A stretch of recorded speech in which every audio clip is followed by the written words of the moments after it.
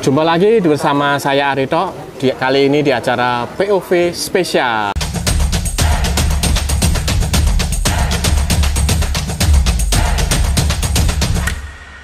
Ada tamu kita bersama, ada dua narasumber.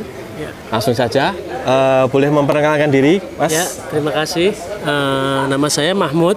Eh, Ya, saya dipanggil Amok ya. Saya Amok, Amok. Badres ya. Oke, siap. Ya, saya dari Solo sini. Dari Solo, Di oke. Selengan ya. Oke. Oke. Kalau yang satu nih, Ya, kenalkan nama saya eh, Muhammad Arnas. Eh, saya dari Solo juga. ya, oke, oke. Ini ini menarik ya. Ya. Eh, datang ke acaranya Mas Gage nggih, Ya. Serawung Serawung dengan Mas Gage. Ini Ya. eh, saya tertarik dengan dengan jenengan. Eh, Apa ini Eh, tujuan datang ke sini untuk untuk apa ini? Ya.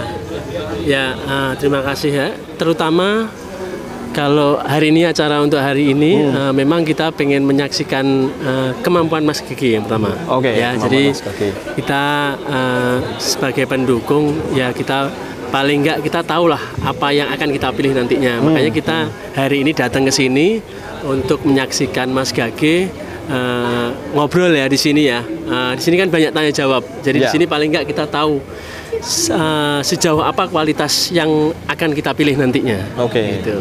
Jadi pengen pengen lebih tahu dulu Betul eh, sekali. background-nya seperti Betul apa sekali. Mas Gage itu, Ya. terutama bagi anak-anak muda juga ya. Iya, betul sekali. Kalau Mas Arnas. Mas Arnas gitu ya, Iya. Mas Arnas tertarik ke sini apa ini? Kalau tertarik ke sini jelas eh, awalnya memang melihat dari apa sih program yang bisa menarik kan gitu. Kita mau tahu lebih dalam terkait dari Pak Bambang Gagi ini. Kan saya juga ada beberapa kali datang ya, bukan hanya Iya. di kali ini aja. Saya juga ada datang di beberapa tempat yang lain yang ada diskusi lah. Kita lihat di situ diskusinya nih apa mengenai apa dan apa kemampuannya dari Bambang eh, Gagi ini. Memang kebetulan ada dari beberapa programnya dia yang menurut saya saya agak tertarik kan gitu. Hmm, seperti apa itu? Eh, di antaranya mungkin terkait dengan adanya eh, beberapa programnya beliau terkait mungkin eh, relokasi. Relokasi. Dia itu Oke. bukan hanya mau merelokasi aja, tapi dia menyediakan tempat terlebih dahulu. Hmm. Dia menyiapkan tempat supaya orang yang akan direlokasi ini, ini loh tempatnya sudah ada. Hmm. Kan seperti ini ada. Jadi pindah itu juga tidak akan menimbulkan eh, kericuhan atau apalah bahasanya seperti itu. Mungkin Oke, itu. oke. Oke, ke Mas Omok nggih. Iya. Amok nggih. Iya. Eh, ini kan terus terang Mas Gage sama Pak Teguh itu kan Ya. eh, apa?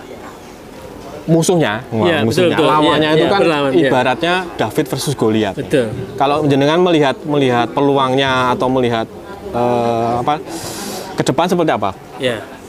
Optimis atau Ya, bagaimana? kalau saya masih optimis ya, Hmm. karena eh, di Solo ini kan sudah terkenal dengan kandang banteng. Kandang jadi, banteng, ya. jadi suara PDI saat ini kan masih eh, di antara partai-partai yang lain Hmm. memang lebih unggul, masih lebih unggul. Tinggal gimana nantinya untuk ke depan eh, menyiasati eh, masalah kemenangan itu tadi. Hmm. Ya, strategi-strategi apa yang akan dilakukan.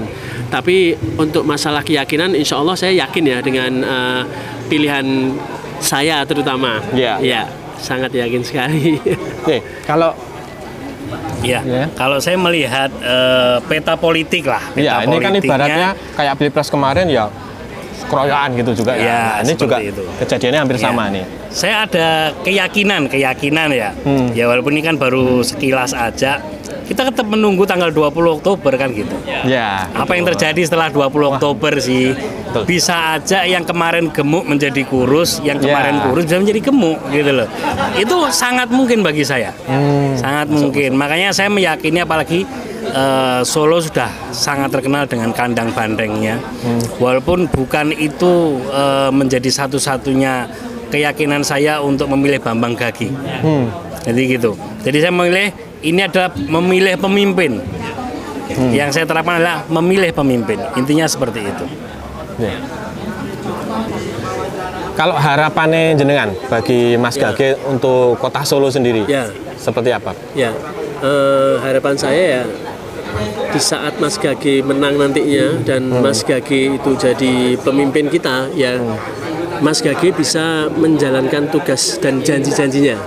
Jadi ada beberapa hal yang menjadi program-program Mas Gage itu ya insya Allah bisa berjalan semua lah dari program-program itu. Itu satu dan paling enggak uh, bisa bikin bahagia lah warga Solo. Yang terus iya. Siap. karena Mas Gage itu kan orangnya uh, ya buat anak muda juga asik buat orang tua juga. Banyak yang seneng lah di saat saya lihat uh, waktu dia itu keliling uh, belusuan uh, banyak warga yang menerima Mas Gage ya jadi kelihatannya mudah-mudahan menjadi inilah uh, pilihan warga Solo nantinya Oke.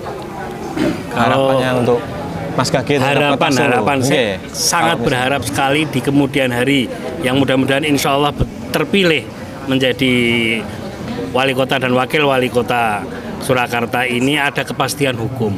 Kita juga melihat di kota Solo ini ada beberapa perkara atau kasus yang belum terungkap. Nggak jauh-jauh lah kita lihat di flyover Oh ya, yang kasus itu yang dulu kasus ya. yang masih belum terungkap. Ada perkara eh, sengketa tanah Sriwedari Ya. belum terselesaikan. Betul. Mungkin masih ada tanah-tanah yang lain yang kita masih belum tahu. Hmm. Ya, harapan saya ke depan, saya sangat berharap kepada Pak Teguh dan Bambang Hmm. untuk bisa menyelesaikan semua itu dengan kepastian hukum. Mungkin itu harapan Kepastian saya. Oke. Oke. Satu pertanyaan terakhir mungkin ya. Ya. Eh, kalau menurut jenengan strateginya seperti apa ini? Kalau eh, melihat pilpres yang kemarin Ya. itu kan kelihatannya antara unik generasinya Gen Z ya, Gen Ya. Z ya Ya. kan. Sedangkan eh, masyarakat Solo sendiri sebenarnya juga ada yang generasi milenial, generasi sebelumnya. Nah, Ya. Mengimbangi antara dominannya Gen Z sama generasi sebelumnya. Ya. Menurut Anda strategi Mas Gage harus seperti apa sih? Eh, kalau strategi Mas Apa ya harus harus bergaya seperti anak muda? Ya, enggak sih. atau- Sebenarnya kalau strateginya eh, seperti yang kita lihat sebelumnya, sepengetahuan saya dan sepenglihatan saya waktu dia eh, keliling ya kemarin Hmm. itu, eh, di saat dia menemui orang tua dia kan sudah bisa diterima. Hmm. Dengan eh, sosialisasi dia sangat baik dengan yang tua. Ya. Kalau yang muda eh, sudah mulai banyak yang menerima lah terutama dengan acara yang seperti ini mas ya acara seperti Hmm. Yeah. ini kan ini anak muda nih anak muda banyak yang hadir di sini dan alhamdulillah banyak yang menerima ya dengan uh, komunikasi ya konsep dan komunikasi uh, acara seperti ini insya Allah menjadikan semuanya nggak Yeah. nggak Gen Z nggak yang tua semuanya bisa menerima Mas Gagi Hmm. sama Pak Teguh Ye. Kalau menurut jenengan, Ya, kalau terkait eh, harapan juga terkait dengan eh, Teguh dan Bambang Gage adanya anak-anak muda, jet milenial dan lain sebagainya. Kalau Pak Teguh dan Pak Bambang ini kan sudah sepasang. ya. Mungkin yang tua-tua melalui Pak Teguh, yang Yeah, muda itu betul, melalui betul, Pak betul Bambang. Jadi menurut saya sudah sangat masuk lah pasangan yang pas Hmm. dan insya Allah menjadi yang terbaik untuk Kota Surakarta. Jadi seimbang ya? Sangat seimbang. Sangat seimbang. Oke. Intinya itu. Ya, oke. Terima kasih sekali untuk Sama-sama. waktunya dan komunikasinya bersama kami. Eh, kita akan jumpa lagi di kesempatan selanjutnya. Mas Matur nuwun. Matur suwun. Ya. Ya. Oke teman-teman, itulah perbincangan singkat kami di antara eh, kerumunan ini. Ada dua peserta yang menurut saya menarik untuk kita ajak bincang-bincang. Kita jumpa lagi di acara POV selanjutnya. Salam.